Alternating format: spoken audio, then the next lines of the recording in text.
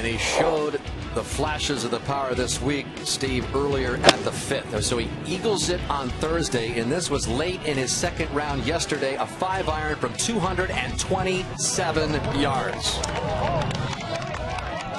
Double eagle. Said it was the first one he's ever made, which is amazing to me because out here in senior golf, he hits a lot of iron shots into par fives because he's so long off the tee. The rarest golf shot of them all.